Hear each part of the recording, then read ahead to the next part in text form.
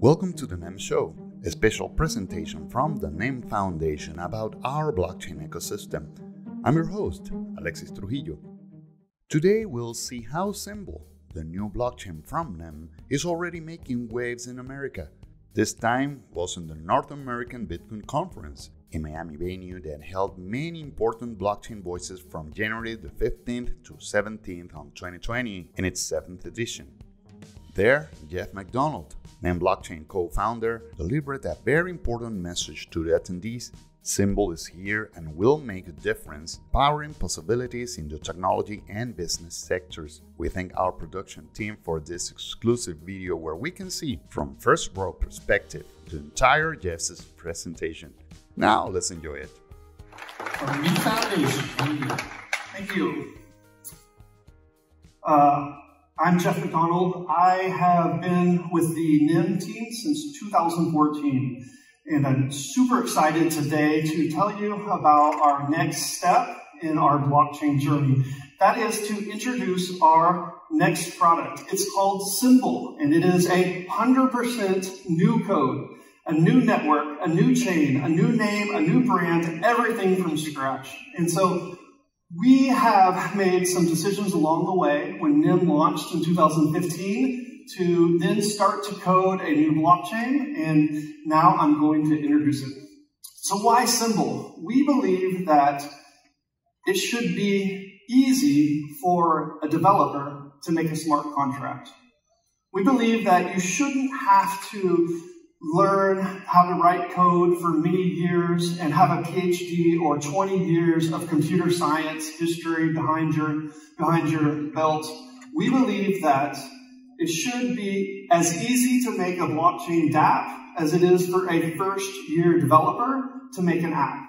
So if I'm in university and I'm learning how to code, I can make my own app and release it on the iTunes store. I can make an app and release it on the Android store, and it would work. We think that blockchain should be just like that, but not just that easy, but secure. And also, the developer should have a lot of options. And it wasn't easy. It's taken four years of coding to get to this point. So let me try to tell you how we got there. There's also some things that we were really interested in. The developers, when they were coding this, decided it should be decentralized, it should be secure, and there should be a lot of utility, and it should be scalable. Now, let me show you this slide. This slide represents my opinion. It's not the opinion of the NEM Foundation. Uh, this is, or any published article, but this is kind of what I think about Bitcoin. Uh, Bitcoin is very decentralized. In fact, 10 out of 10 decentralized. It is the most decentralized network and because of that, it has high security. And that's important.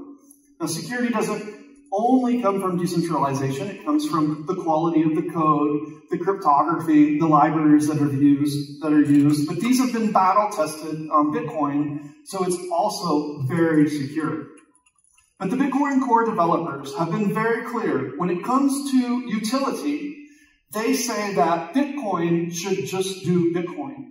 They don't want smart contracts to be in the core of Bitcoin. They said if you want to do smart contracts, you can figure out how to do it on the side chain or some other way. And the Bitcoin core developers have been very clear that they're not going to make huge blocks. They're not going to try to make thousands of transactions per second.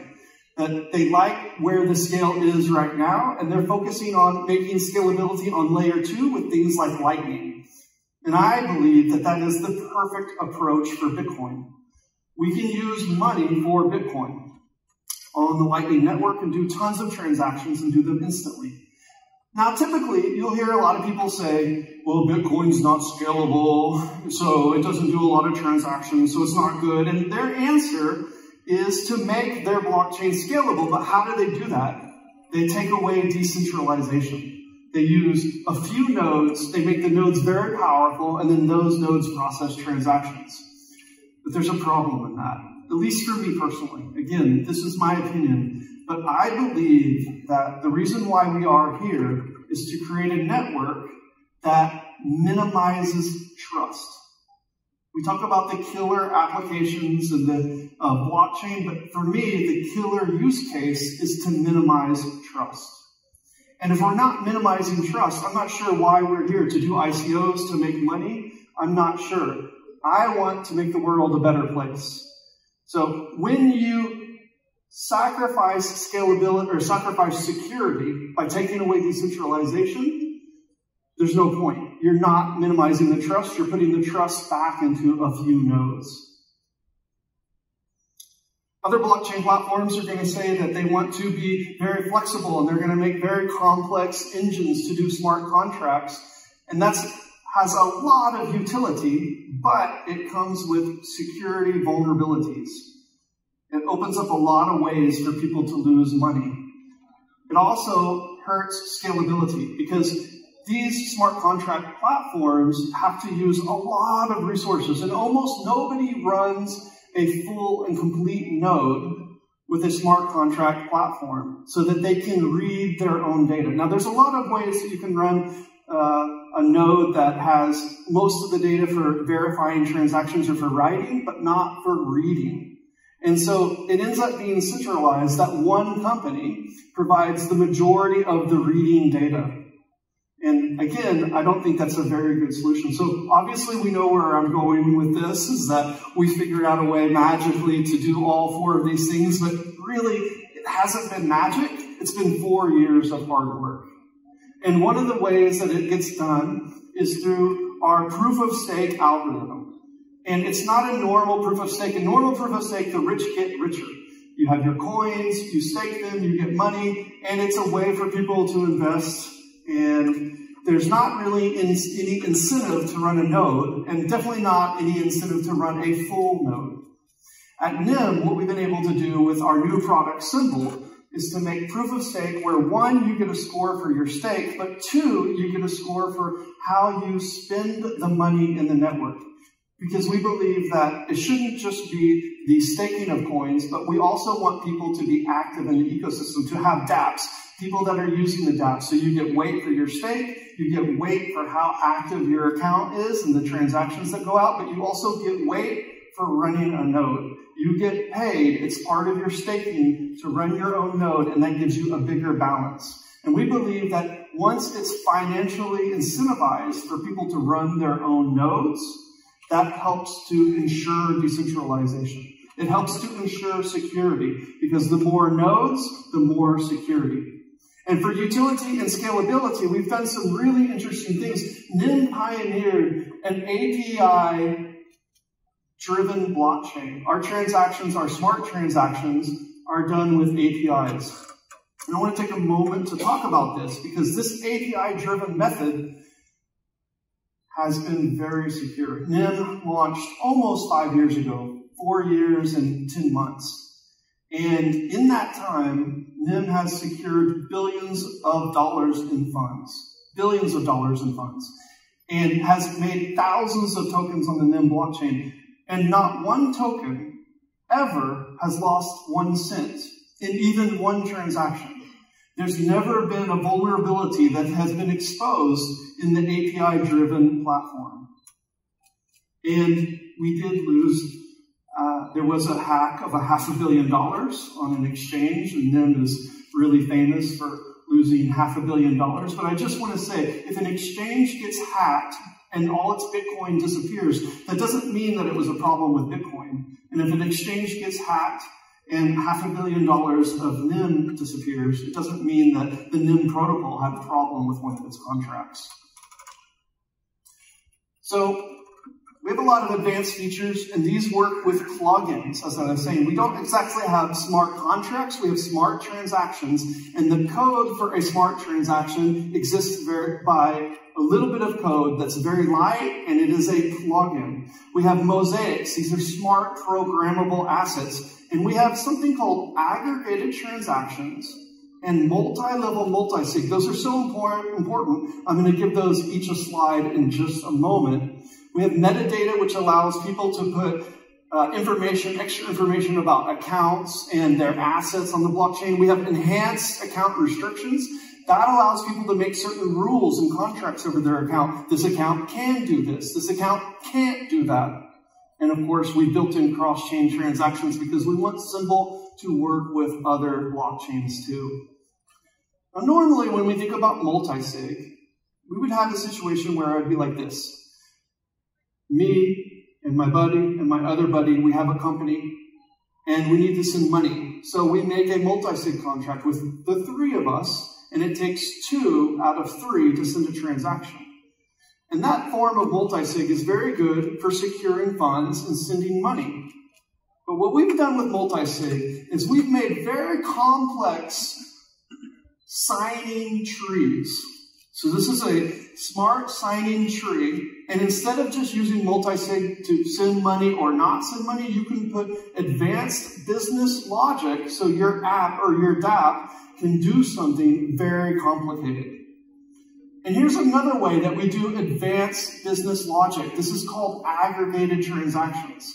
This is so cool. I've never seen this done anywhere else, and I'm really proud of it. So let's just take a minute and talk about it. Let's say Alice wants to buy a house from Bob. In the real world, how would that happen?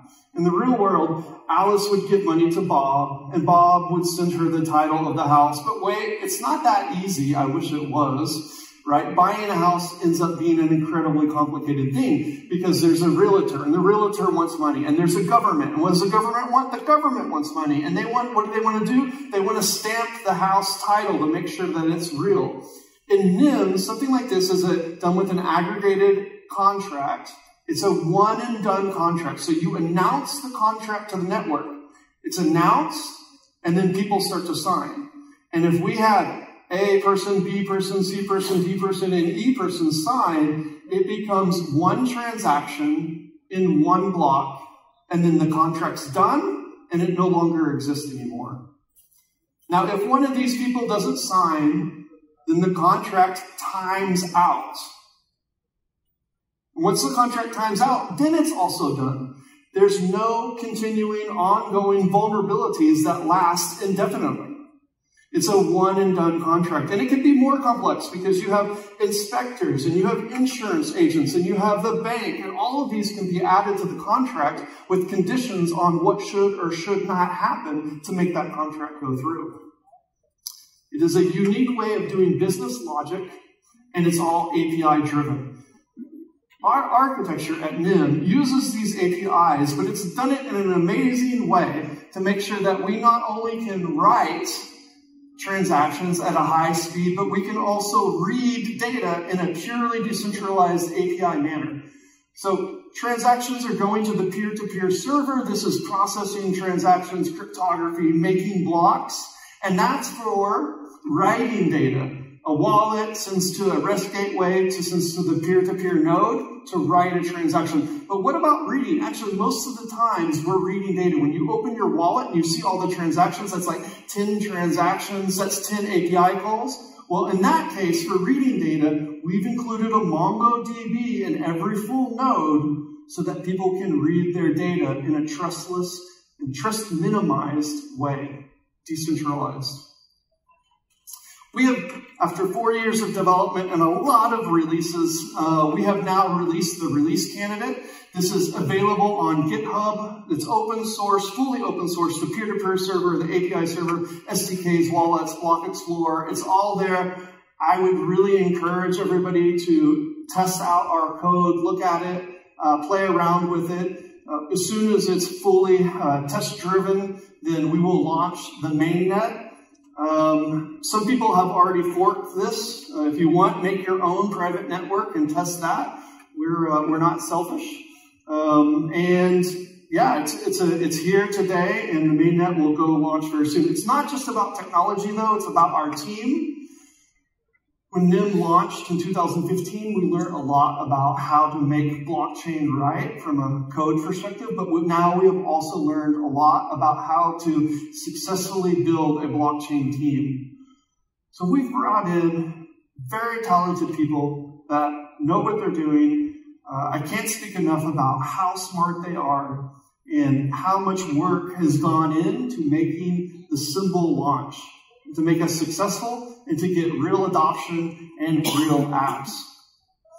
So my name is Jeff McDonald. Um, I guess NEM was on the top 10 of coin market cap for a long time. Uh, we were a regular there. And then after the hack, our market cap kind of went down. But I fully believe that Symbol deserves and will have a great chance of being one of the stable coins that you will recognize in the future and be familiar with. Thank you.